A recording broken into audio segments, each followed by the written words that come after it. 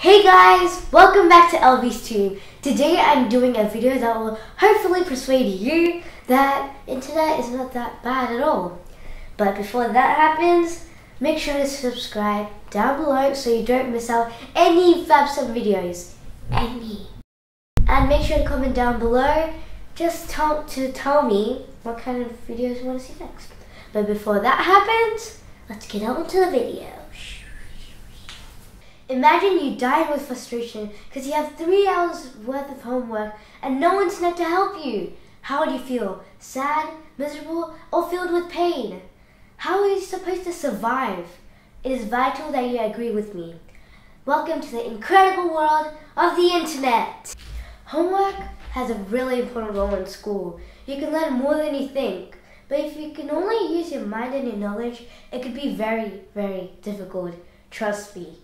In my opinion, constantly looking for things to do can be very tiring. These days, internet has been mind-blowing.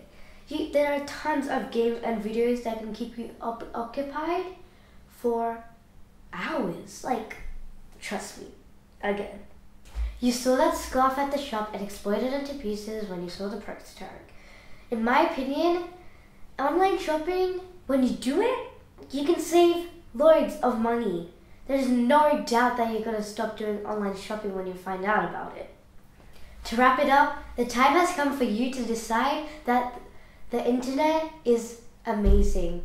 You choose. Would you like to sit and do so many hours of homework, lay down and do nothing, and spend so much money in shops? In a nutshell, the, the internet is amazing. So guys, I hope you enjoyed this video. Make sure to subscribe, like, comment and share and don't forget to watch more Fabson videos on Elves Tube. See you guys next time.